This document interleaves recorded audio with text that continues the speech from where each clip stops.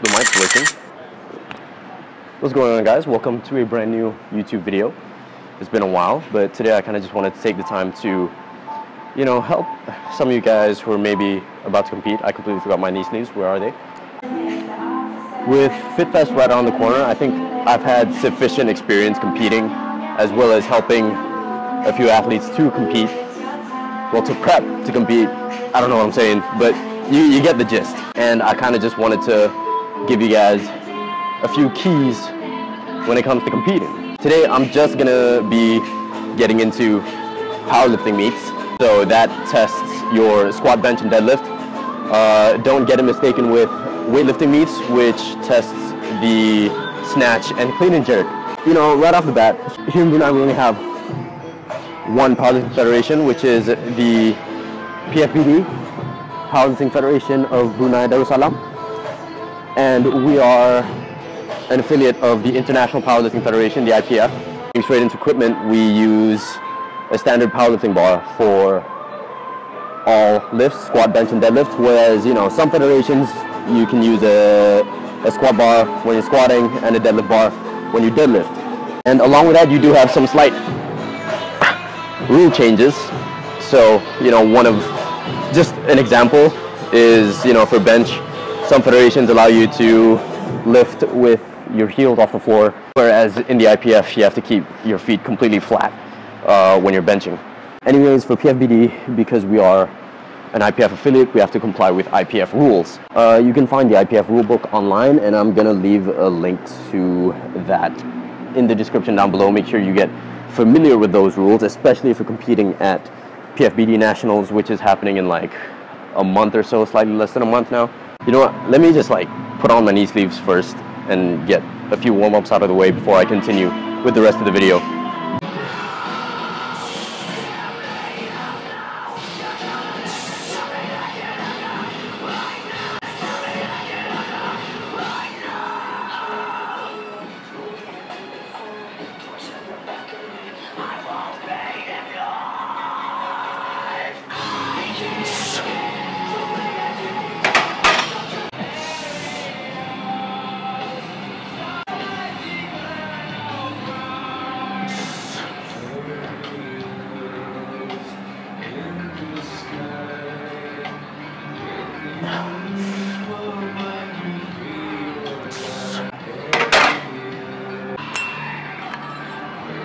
Go up.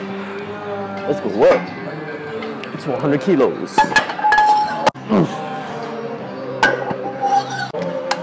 So, if you do happen to be competing at Nats this year, then you would have already gone through this and you know registered and everything. But I'm gonna explain it anyways, just because I want this video to be able. I'm finding it hard to find words right now. I want to be able to. I want this video to be able to be used long term and not just for nationals this year. So, you know, when you compete, you have to get a federation membership, uh, fill in the entry form, as well as, I feel like there's one more thing to do. Oh, as well as pay the entry fees for the meet that you're competing at.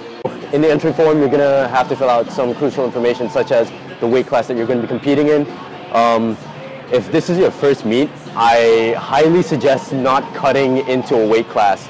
For example, if you're like 64 kilos, um, just compete in the under 66 kilogram class um, rather than cutting down into the under 59 kilo class. That felt like a lot to explain. Uh, I'm a bit rusty on this whole like vlogging thing, talking to a camera, but whatever. I'm gonna continue with my warm-ups.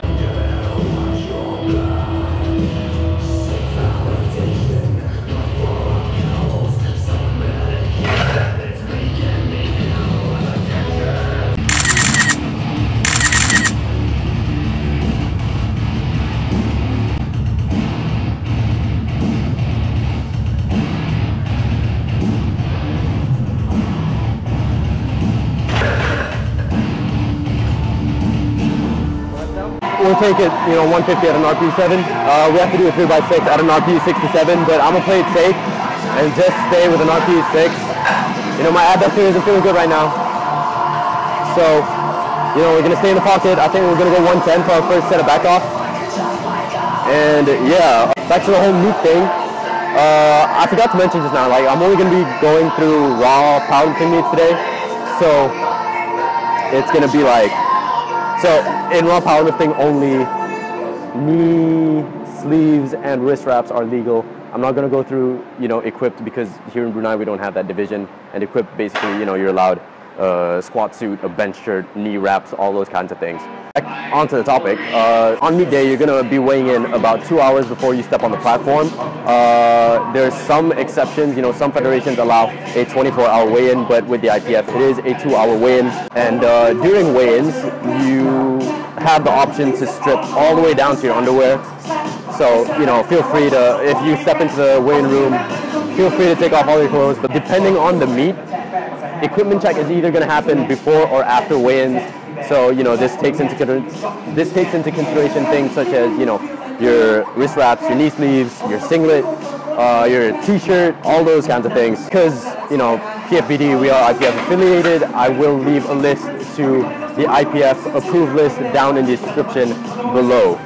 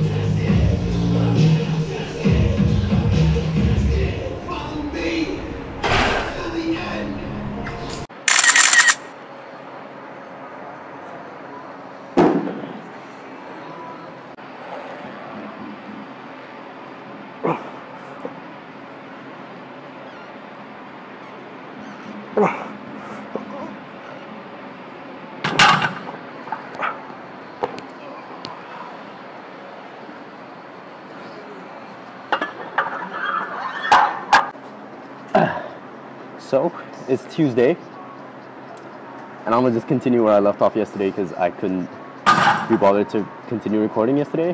In competition, you get three attempts for each lift. For squat, bench, deadlift, you get three attempts, so nine attempts altogether.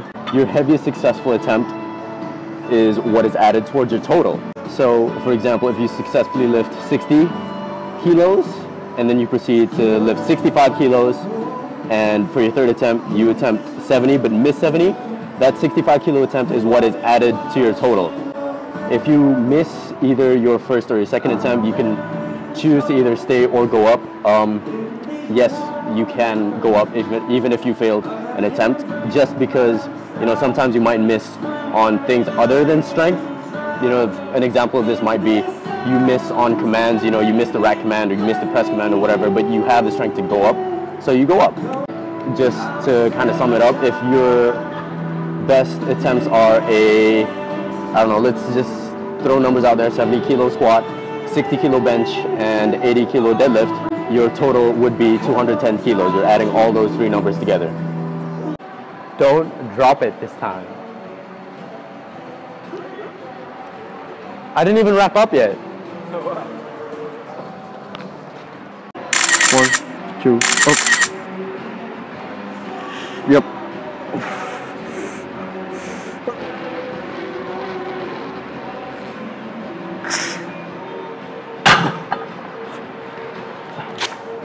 Okay, so for each lift, there's going to be three judges. You get one head judge and two side judges, one on your left, one on your right. The reason they're there, the reason they are there is so that you perform your lifts up to the Federation standards. On meet day, once the platform is ready for you, you have one minute to begin your lift. So you're going to hear platform ready and then you have one minute to start your lift.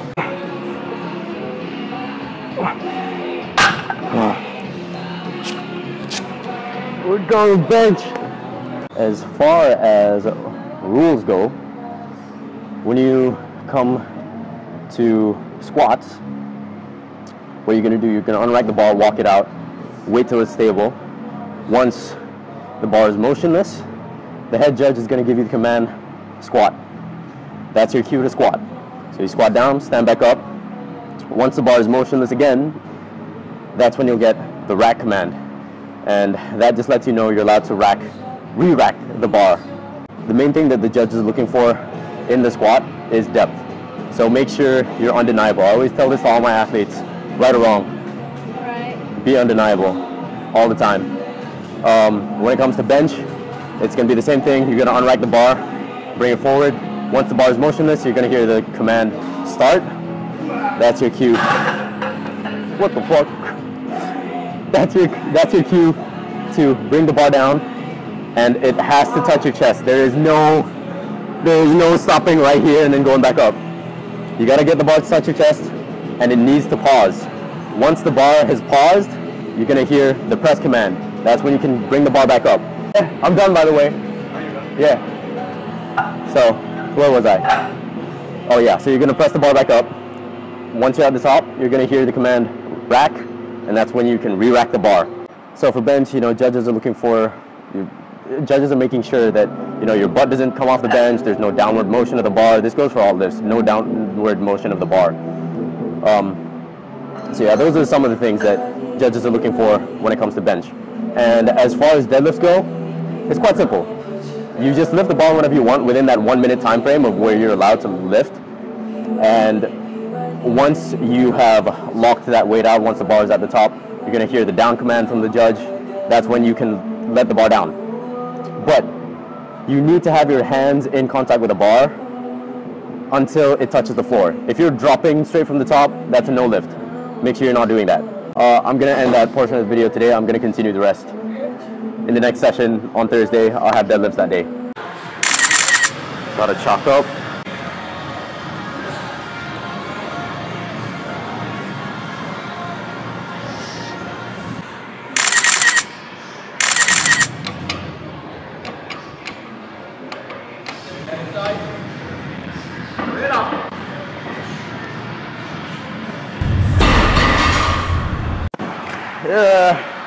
We'll call that a six and a half.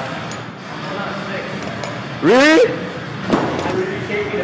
Yeah. There's my top single, 180 at an RPE, six and a half. We're gonna continue the rest of this video today. So now let's talk about like the structure of the meet. So lifters are gonna be split into different flights, and usually it's flight A is gonna do their first, second, third attempt, and then after that, flight B, first, second, third, followed by flight C, flight D, etc., etc. Um, but at some meets, I like a lot bigger meets, so maybe, you know, IPF Worlds, just an example, they'll be split into sessions. So you'll have session one, which maybe takes place in the morning, and in session one, you're gonna have flight A, flight B. They'll finish in the morning. So they'll be done competing by maybe about 12 or 1 p.m. And after that, session two is gonna start in the afternoon, and they should finish by like 6, 7 p.m. And in session two, you'll have flight C, flight D. But yeah, um, that's just the general consensus of how the meet uh, is going to be run. But again, this changes from meet to meet, so make sure that you stay updated and you're aware of how your specific meet is going to be split up. In addition to this, meets usually take the entire day, so make sure you have food and make sure you don't make plans for the day, because if not, you're not going to make it. No lagging music, cameras are all set up. Forgot to chalk up. Belt on, alright. Belt on. I'm gonna forget to fucking tighten it.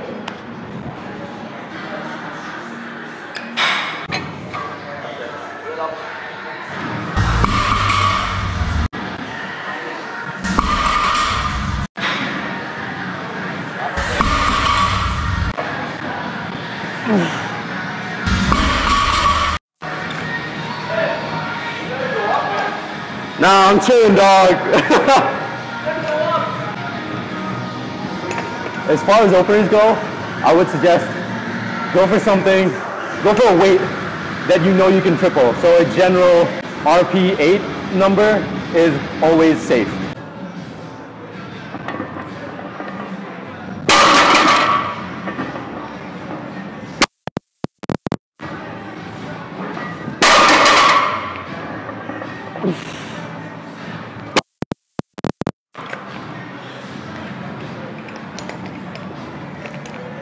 On meet day, make sure you have someone handling you. For lifters who have coaches, usually this is going to be your coach. If not, make sure that you have someone who has a basic understanding of the sport of powerlifting so that they can help load your weights, unload them in the warm-up room, so they can keep track of when you'll be lifting and keep track of where you are in your flight.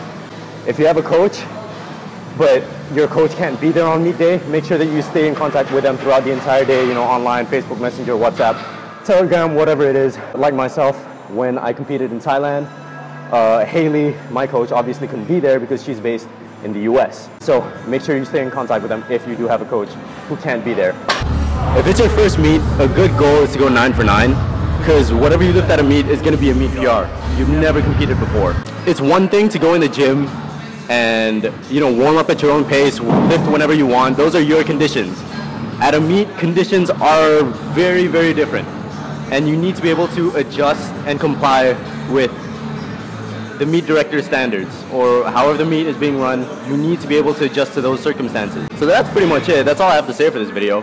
Um, I hope this helped with whoever is prepping to compete or you know getting ready for their first meet. If this helped with anything, please don't forget like, comment, share, subscribe.